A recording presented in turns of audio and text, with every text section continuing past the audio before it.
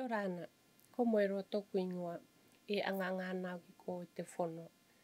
Uh, greetings, my name is Moeroa and I work at the Fono. I, um, this month is uh, Breast Cancer Awareness Month, so I'm here.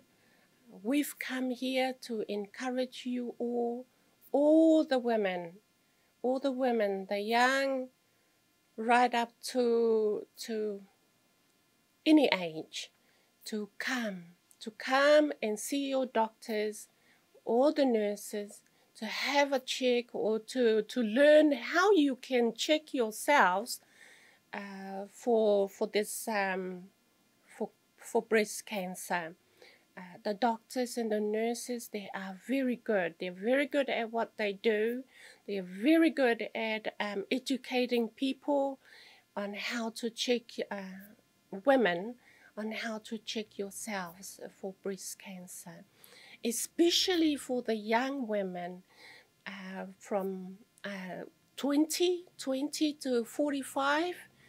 For you young women, it is um, also, I'm really encouraging, or we are really encouraging you all to do the self check. So, this is really important. Do the self check yourself check yourselves for lumps or uh, discoloring or um, all these things. You know your own breast. So you will know that there's something different in it. So as soon as you, you find these things, we encourage you to ring your doctor immediately and to get these things, these uh, things checked why I'm encouraging you all is because I was in that situation. In 1999, I had seen um, uh, breast cancer awareness and information on how to to self-check my own breast uh, to for for cancer.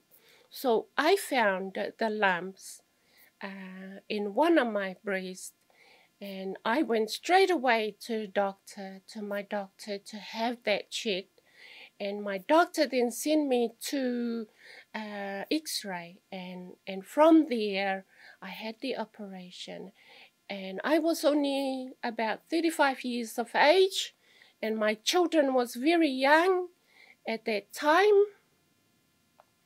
And I'm so happy that I did that because I got to see my children grow.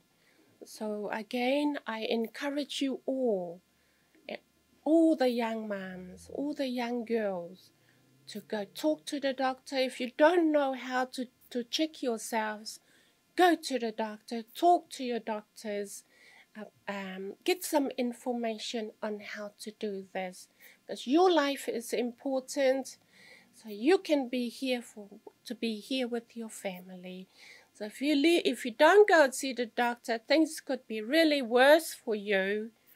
Uh, so we're encouraging you all to talk to your doctor, talk to a nurse, talk to a breast care nurse. We have one here at the Fono, and her name is Elena. So you can ring our 0800 number and have a chat with her. She's very, very good at, um, talking about breast cancer with everyone. So thank you very much and um, all the best.